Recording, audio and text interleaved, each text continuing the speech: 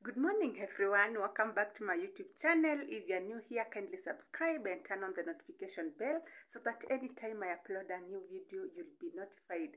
Thank you so much for the returning subscribers. Today is the third day and the final day of KPSEA exam. The learners are going to be doing their final paper they're just going to be doing one paper that is creative art and social studies. So this will be their last day doing their KPSEA exam. Next year they'll transition to junior secondary. So let us all wish them all the best as their exams will be being marked over the holiday so that they can get good grades. Hope you remember the, the grades I told you about. From the highest, that is exceeding expectation, then meeting expectation, approaching expectation, and below expectation.